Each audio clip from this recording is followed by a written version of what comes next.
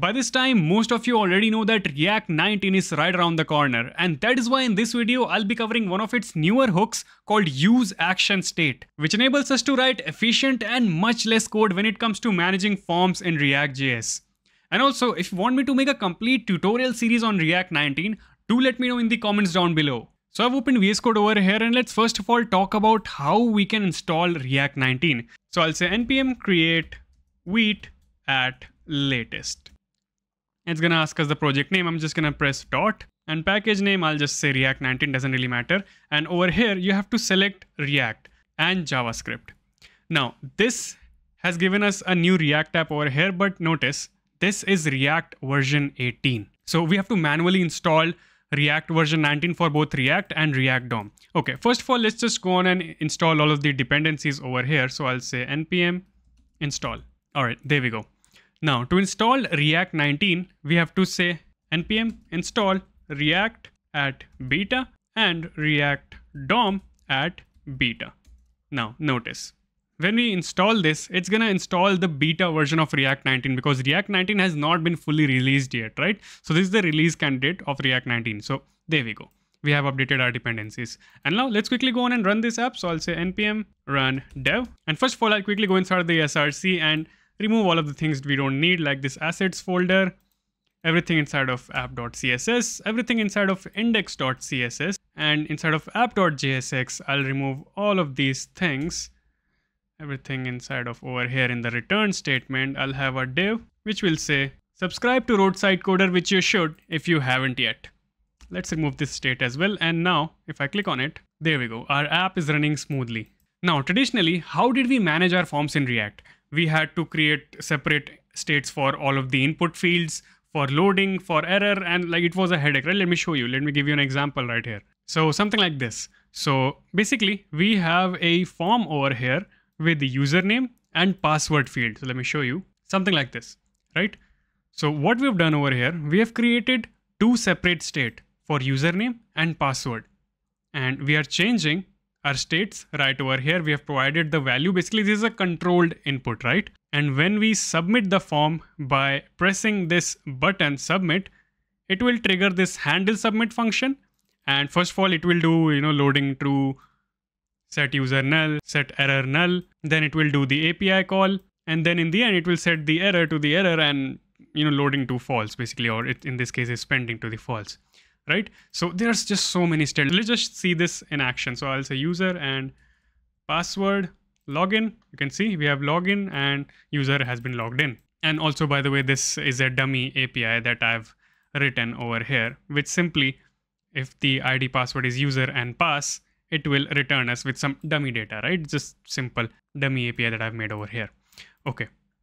But if it's not the user and pass, it will give us the error. So let me show you just like this. So is there a better way of writing this code?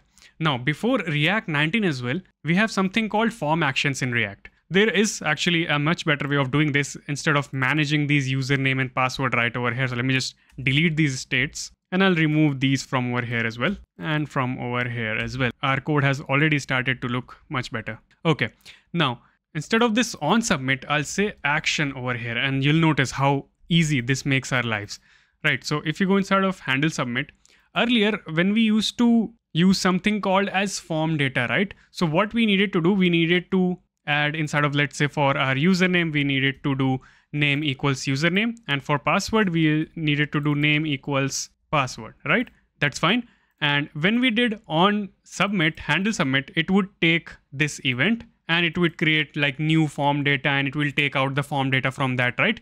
So now all of that step has been skipped, right? Notice. So instead of taking this E event over here and doing E dot prevent default, we can just get rid of this E dot prevent default. We can directly take the form data by doing something like so const username equals form data dot get. And inside this, we can write this username. Also same for password. So I'll say password over here and now this will continue to work just fine. And we didn't have to you know manage separate states for our inputs. Let's let's see. Let's check it out. If i say user and pass press enter. Yep it works fine. If I say user and whatever login, it will say invalid credentials. Okay, and notice it has reset the input forms for us as well, right? But now we will take this one step forward by using use action state and making our code much more efficient.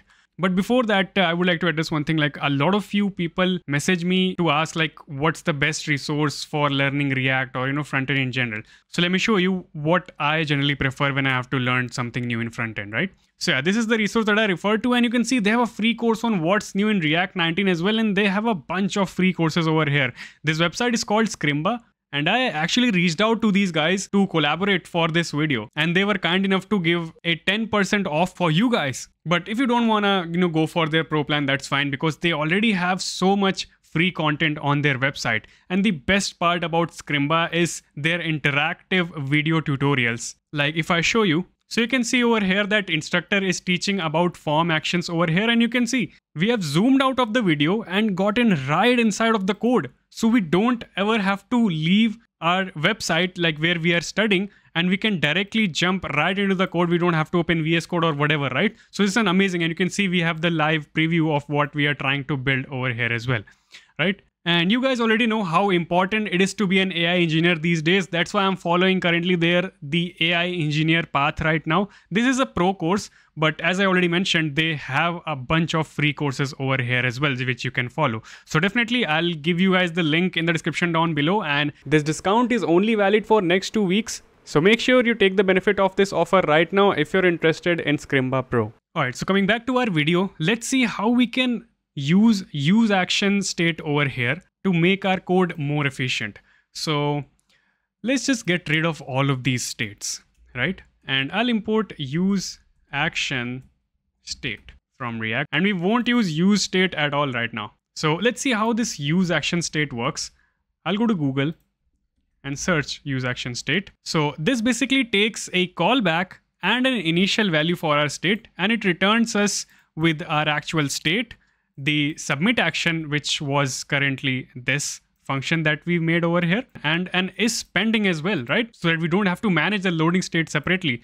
So, okay, I'll say const and I'll take my state, which we called as user, right? I'll take the submit action function, you can call it anything, and is pending, right? Now inside the handle submit, we don't have to do is pending, set user null, set error, all of these things. And all of this stuff over here as well. I'll get rid of finally. And this set user, set error inside of this, all of these things. Okay. But we should not call this handle submit directly over here. This function will be taken by this use action state. So, okay, I'll provide this handle submit or let's just call it login, right? I'll just provide this login to use action state and the second thing it took was the initial state, right? So right now I have my user state, right? So I'll say data equals null by default. So user was null by default, right? So I'll put data over here. And for managing the errors, I'll say error by null as well. So our loading is already handled, right? But we need to handle our data capturing and error handling. So we'll do that inside of this state over here. Okay. So now instead of calling this handle submit or this login function directly, we have to just call this submit action and it will handle everything behind the scenes. So basically this use action state will take this login function and it will provide it with two things. First is the form data and, and actually form data is second thing. First is the previous state, whatever the previous state over here was, right? So how do you update this state? Whatever you will return from this function right here will result in updation of that state. So let me show you if I am doing this, uh, you know, await login user with username and password, we will get the response, right? So in the console log, we will get the data. So response dot data. Let me show you.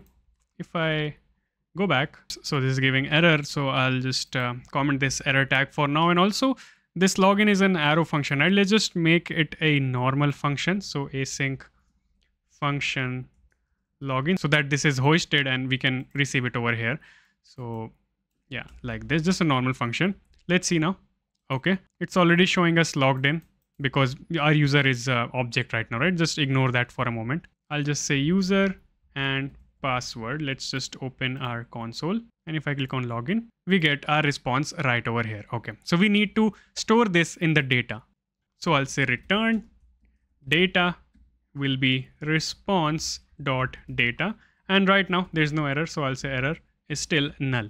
But in the catch, I'll say return and error will be, so uh, how are we throwing the error? Let me have a look. So inside of our API, I'll reject it with this object right over here. Inside of this object, we have this error. Okay, so I'll say error will be error dot error. And we also need the previous data as well over here, right? So what I'll do, I'll take this previous state that I showed you. We also get this over here. I'll just I'll just spread this so that we get the data and the updated error right over here. Amazing. This should work over here. Instead of user, I'll say user dot data if this exists. Then I'll render user.data.email. And for error, I'll say if user.error exists, then I'll say user.error. This should do it. What's wrong? User is undefined. Let's just add a optional chaining over here. Yep, that's fine. Okay, so I'll say user and password, press enter, and there we go. We are logged in. If I press like uh, enter something else, something wrong, it will show us invalid credentials and this should have been reset, right? So we can actually over here, we can do data equals null if you want to reset that. So it will just result in resetting. Okay.